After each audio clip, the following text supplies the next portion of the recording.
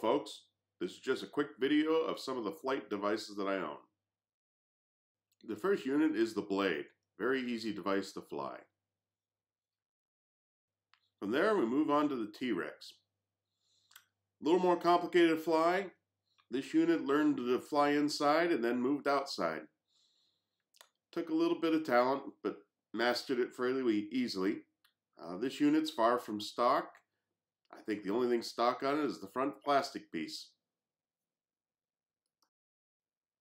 The next unit is the Phantom 2. This is my first true drone. Originally it came with the gimbal and camera, but two years ago the uh, camera failed to boot up when I re-energized the drone and was unable to fix it. So modified this unit to fly without the camera.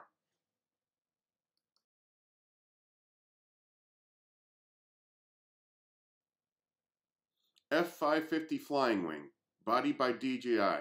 Controller is a Pixhawk by 3DR. A little more complicated to fly than the Phantom, but fairly easy. This unit has a gimbal and camera. They're just not on it at the moment. This unit is a Phantom 3 standard. Purchase it when the Phantom 2's gimbal and camera wouldn't boot up. Use this unit to video my building being constructed.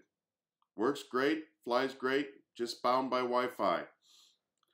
Moved on to the Phantom 3 Pro, found it as a refurbished unit from Drone Nerds. Works great, great refurbished unit, outstanding video, much longer range and higher quality when shooting than the uh, Phantom 3 Standard.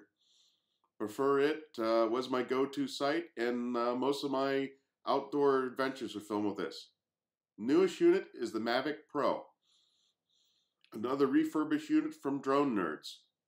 Initial flight shows it is much more stable than the Phantom 3 Professional.